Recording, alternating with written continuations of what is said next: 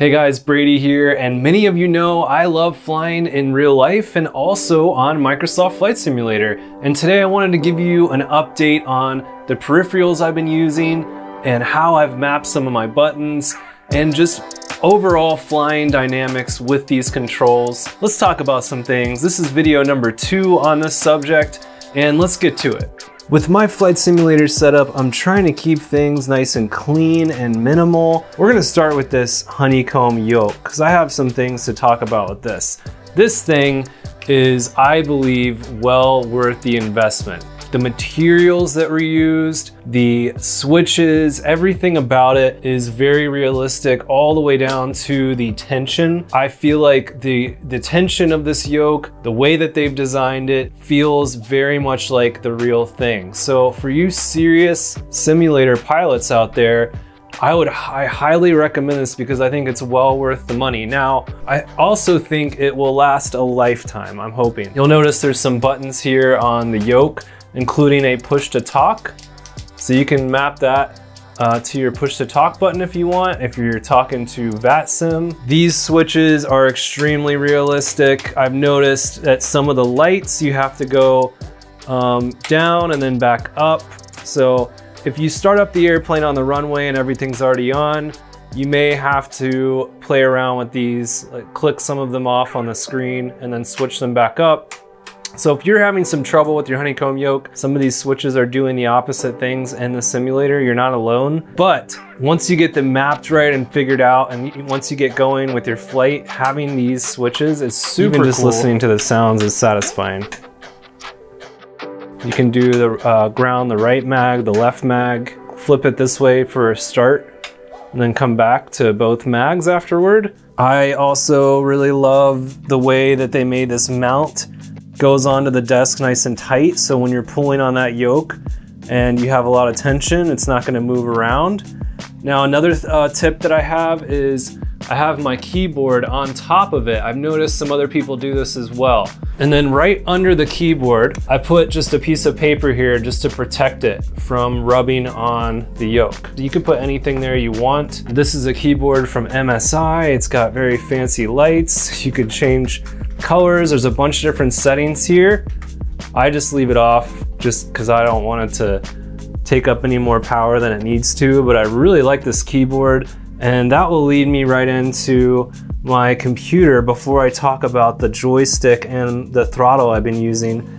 This computer, if you were to build one from scratch, just like this, I think you're gonna save maybe a couple hundred, maybe a few hundred dollars. So to have one from MSI, the Trident X, with these specs and have them build it for you and just ship it to you and have it be ready to go, I found it actually very affordable for what you're getting. So I would check out MSI's new Trident X computers. I know they have been really popular. All the lights in here you can customize, you can change all of that. Um, I typically leave the lights off. I just have them on for the video right now. Again, anything that could be taking up power, I, I just want to minimalize it. And even over here, there's some lights on the graphics card. This is the RTX 2080 Ti right there. And this computer has been performing the simulator very well. I'm sure you can imagine. It's been doing a really great job. A lot of this stuff you're gonna see down here, all this wiring and, and my lights and stuff are for live streaming. That's gonna be for a separate video. I'll talk about that. I've got the Thrustmaster pedals, which have been awesome as well. These had great reviews, so I went with them and I have not been disappointed by these Thrustmaster pedals. It's just the software that needs a lot of work when it comes to the rudder pedals and the sensitivity. Um, and I know Microsoft has they're aware of that and they're working on that. But um, a lot of times also I'll put the balls of my feet right here instead of putting my whole foot on. So try planting your, your heel on the ground. Try putting your heel actually here and then putting the balls of your feet right here instead of putting your whole foot on here. And I think you'll find that that's gonna help a lot when it comes to the rudder pedal sensitivity because it's not quite like it is in real life right now. Um, it's been really sensitive on the simulator. Now, the other thing, if you do get a Trident X computer, it's also gonna come with this mouse. And I am not a salesman for MSI. They're not giving me any money for this or anything. I'm not making any money off of those sales from them. So, you know, I'm this is full disclosure. Like I, I'm just really impressed with this computer and the mouse and keyboard and it's been really great. And then I wanted to also talk about this joystick because I've really enjoyed using this. This has been awesome. Let's talk about some of the button mappings I have for this as well. There are a lot of buttons on here you'll see, but I don't use a lot of them. Um, I'm doing a lot of just in cockpit mouse clicking, like as if it were real life. But what I do have is over here, I have my flaps. This is gonna be uh, flaps down one notch and flaps up one notch. And then in the middle, I'm ha I have my trim. I, a lot of people have been asking me about trimming the airplane. Why is it so hard to trim? Um, you just need to get your throttle set to what you want your throttle set at and then focus on trimming it. And sometimes you're just gonna be hitting this button to do very minor trim movements. Um, you can map this to gear. However, this was mapped to a throttle and it was really messing me up. So I disabled that. This does nothing. Nothing over here really does anything except for going to the pause menu. Um, and I do have some view changes over here. So I'll use some of these buttons to change my camera views. And then the pause menu and ATC. So that's really it for me. I, I'm not doing anything with these buttons, anything fancy other than just flying the airplane with the stick and it's been a really great one. It's got a super smooth ball fixture in here. It's like there's some grease in here, some kind of grease in here. I've been really impressed by this. It's the T-Dot 1600M FCS Thrustmaster. It's orange and black, so it's hard to miss when you're looking at them. The other thing I like about this that the other Thrustmaster stick and throttle didn't have is it's got the throttle separate from the stick. So these are two separate USB plugins. And another thing that I really like about this computer is how many inputs it has. So you'll notice like there is a USB-C on the front, two USBs below that, and then there's like seven in the back, which is crazy. All those inputs came stock. So this thing was ready to go for flight simulation with all those inputs. Another thing worth mentioning. But yeah, when it comes to my throttle, you'll also notice there are a lot of different buttons here that you can map. I mean, it's an overwhelming amount of stuff and it's great. You can do whatever you want, but I only use this for the throttle. That's just my preference. Um, everything else, again, like I said, I like to do in cockpit. These switches are great just because they're more realistic on this yoke. But when it comes to the throttle, a lot of times when your hand's on the throttle on an airplane, there's not anything else attached to it. So you're just, that's why I like it like this. And you can move it from the left side to the right side I have it just sitting here on a chair, and I know that some people have built some stands for their throttle. I may do that, but for now I just have it on this chair. That kind of matches the desk anyway. And then I have my headphones here. These are the DT990 Pros. If you guys have read any headphone reviews, you've probably heard of the DT990 Pros. These are amazing. I use them to make all my videos. They're actually mixing headphones, but they just have incredible quality sound.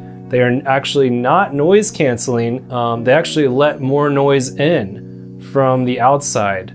They let more white noise in from the room. So very interesting, but after using them for years now, I don't think I could ever go to anything else. The sound quality out of them is just unmatched. You can also hook up a speaker to your computer, of course. Um, and another thing to note is you can plug in an Xbox controller into here and use that for your drone cam. It's the best way to fly the drone around in the simulator. So something to consider. Um, I Sometimes I do hook up my Xbox controller and it just automatically works as a drone cam whenever you go into the drone view. Let's talk about the monitor. I went through a lot of different monitors and ended up with this one. This is from Samsung and I've always always liked Samsung's image quality, but I was I was open to anything. I was open to a lot of different things. Ended up going with this Samsung. This is a 32 inch 4K monitor and for the price, I really don't think it can be beat. The one thing I needed to do was get it to a nice eye level. You'll see I just, I made this little shelf as a monitor stand because this monitor does not extend up and down.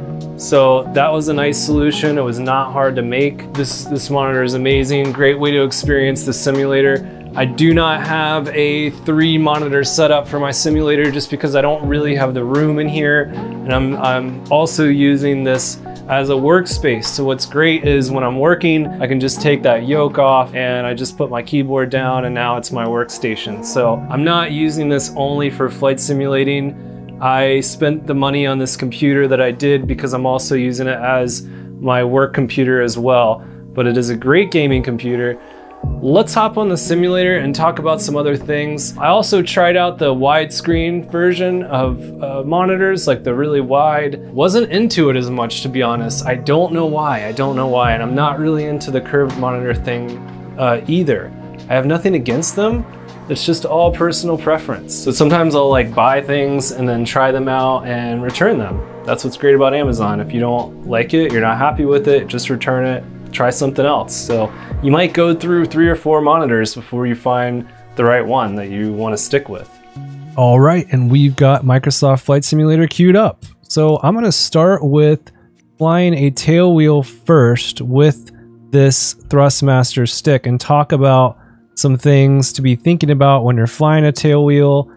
I really like the Savage Cub and I've got this US Army livery downloaded for it and I'm gonna go to Donegal, Ireland, because because it's one of the most beautiful runways in the world, and it's a hard surface runway and plenty of room to practice with some beautiful views. Uh, it's dark there now, so we'll go to daytime, and it's also very very windy there right now. Too too windy to fly um, a small airplane for live weather, so let's do like 11 knots of wind coming out of the southwest. And that should do it. While that's loading, I also wanted to mention the Thrustmaster throttle. Someone gave me a really nice tip.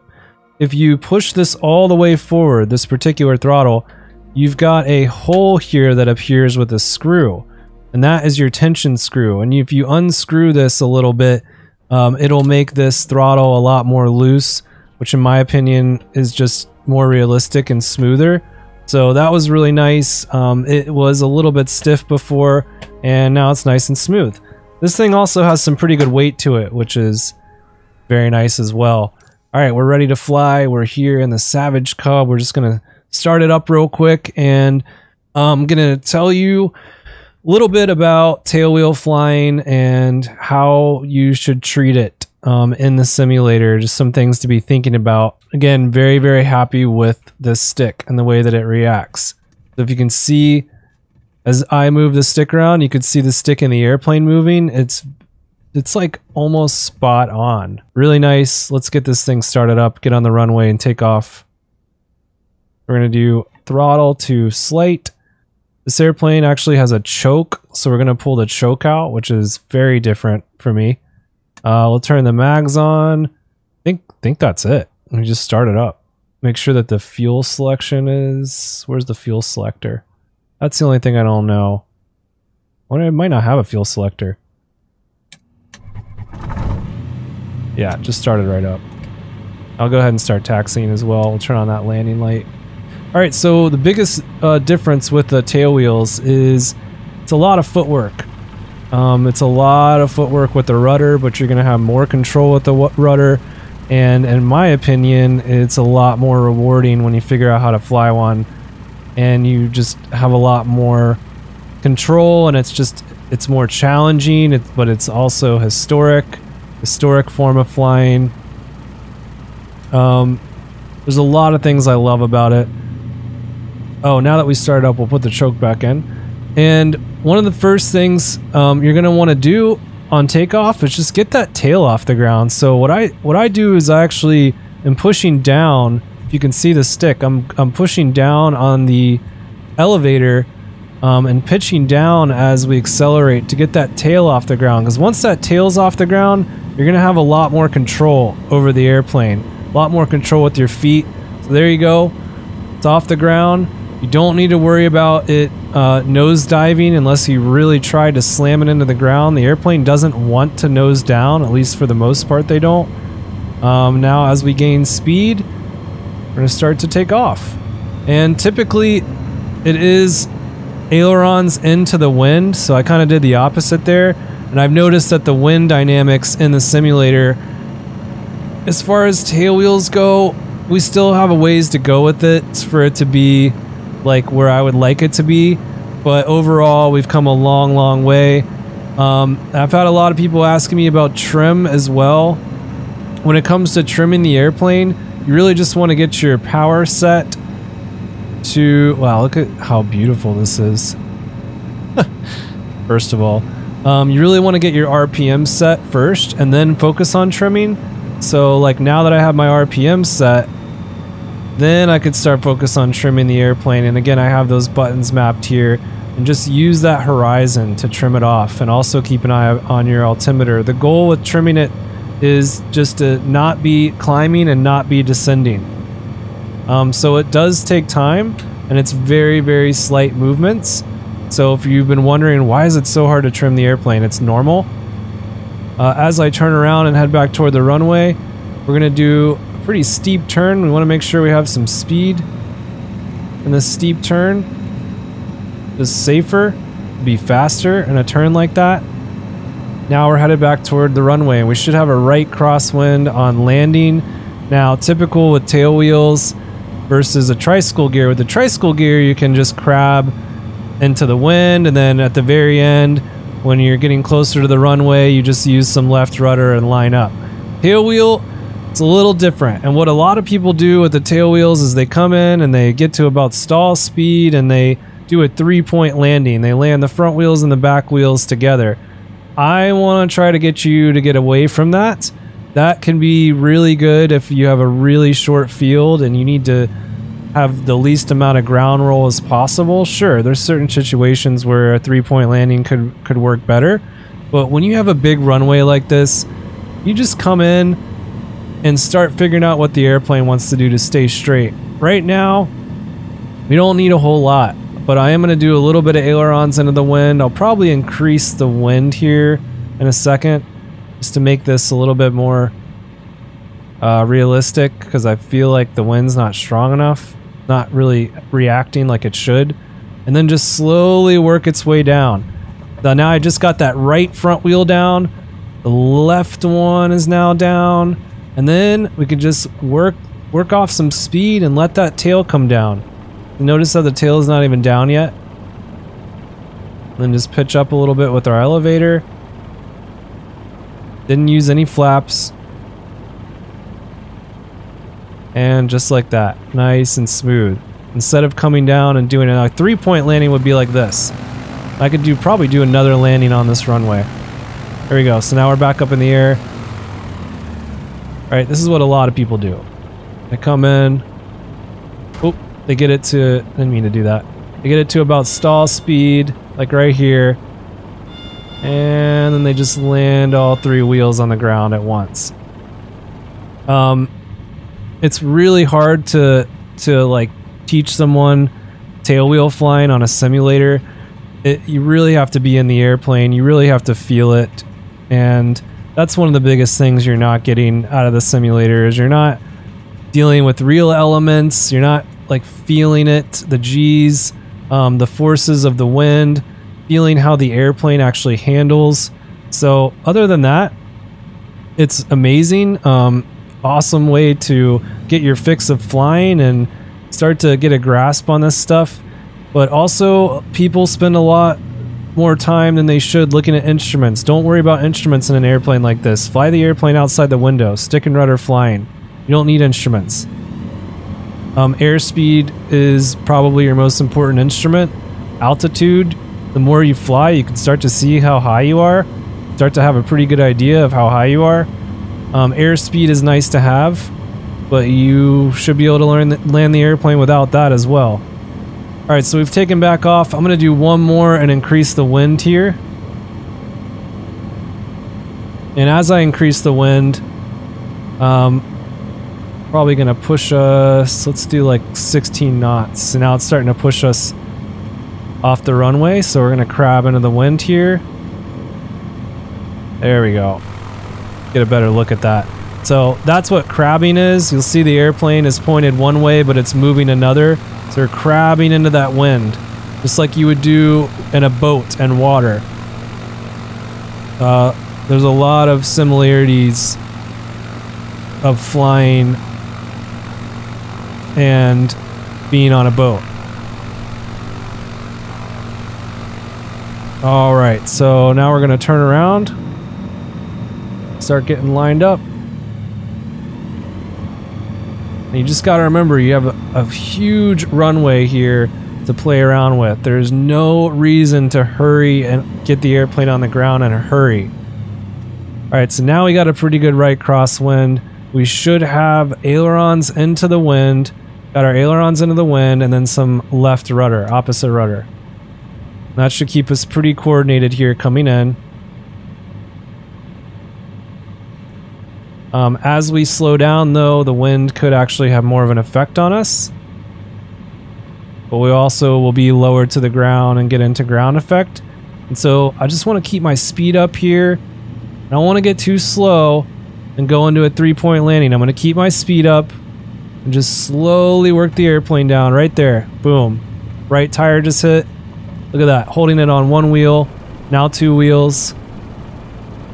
All right. Then work the throttle back. Airplane's going to want to go all over the place. And that's why I've got the balls of my feet on the rudder pedals. I don't have my whole foot on the rudder pedals. You just use the balls of your feet, you can make very minor movements with it. Savage Cub just wants to fly. Love this airplane. Um, now we'll just hop in the 152 real quick and do a quick lap with the 152 and the honeycomb yoke. Talk about that for a second and call it a day. I will do some more tailwheel instructional stuff, and if you're on my live stream, um, if you join on the live stream, you can probably get some of that as well. But I want to do some real life and uh, kind of chats while flying a tailwheel and be in a in the Taylorcraft. So I'm planning on doing some of that in real life. Let's go into dev mode. I'm going to go into dev mode, turn that on. If, if you're not familiar with dev mode, that gives you the option to actually select a different aircraft without having to go back to the main menu. Now I can go to a Cessna 152. Don't know which one. Okay, this is the aerobatic. I'm not going to do the aerobatic. I'm just going to do the standard one. There we go. Parking brake is on, I'm guessing. Parking brake was not on. Now the parking brake is on. And I'm going to switch to the honeycomb yoke real quick. Let's do that. All I have to do is move this aside, screw it on, plug it in, good to go.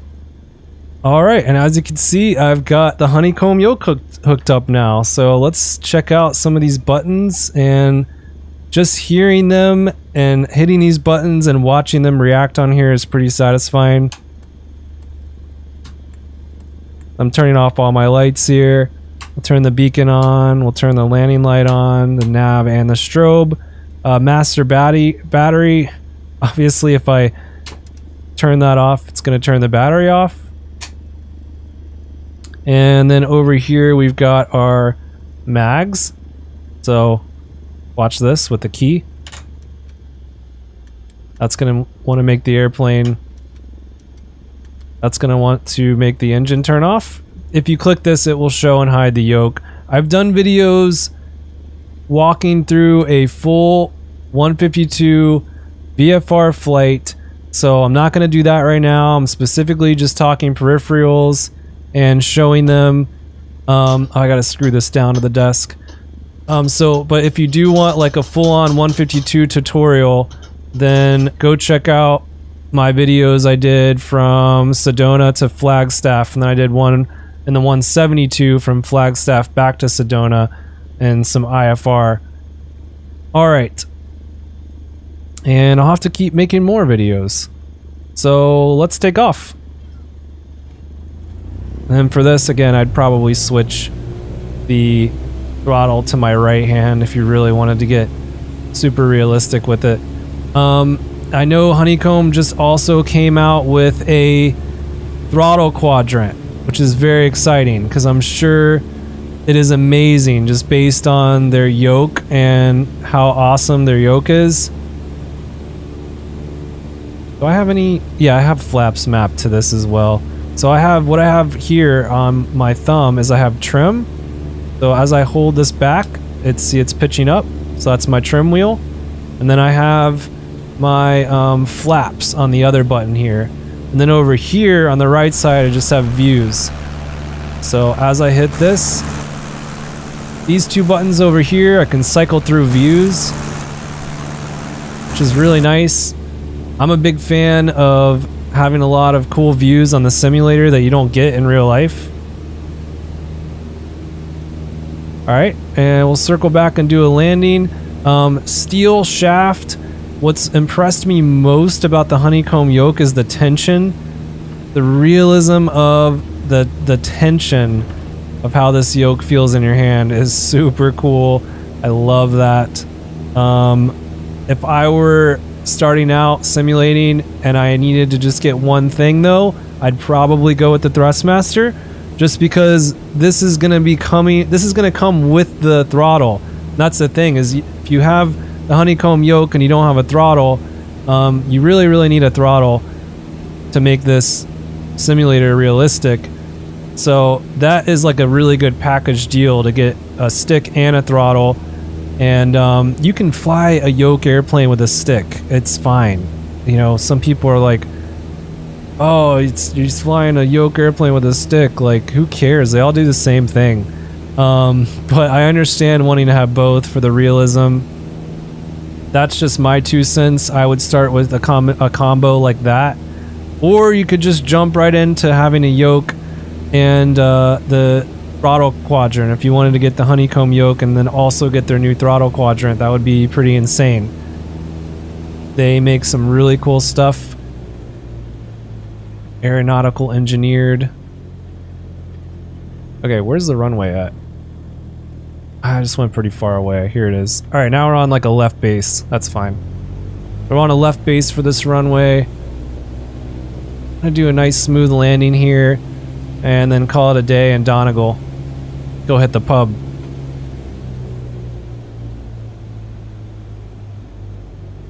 Uh, monitor instruments, I, I'm, you know, nothing wrong with checking oil pressure, all that stuff, that's great, but fly the airplane outside. And then this joystick here looks to the left, which is cool. The one up here, you can hold it right or hold it left, and I do like that. And then if you flick it up, you come into this landing configuration view, which is really nice because that's giving you more of a like a real life focal length of what you would be seeing. Ah, this is really neat. So I'm just gonna do a little left rudder here. That's the difference with the tail wheel is you really you don't need as much ailerons into the wind as much as you just you just do left rudder. A lot easier to stay coordinated in a tricycle gear. Totally different story here.